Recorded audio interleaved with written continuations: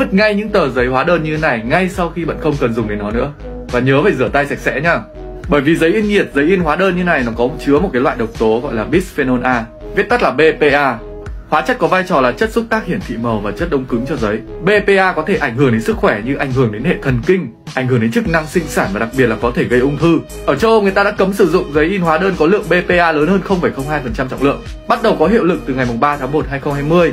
Còn ở nhiều bang tại Mỹ ví dụ như là California hoặc là Illinois thì người ta đã cấm sử dụng giấy in nhiệt có chứa BPA. Còn ở Việt Nam thì sao? Chúng ta hãy tự biết bảo vệ bản thân mình thôi. Thế nên là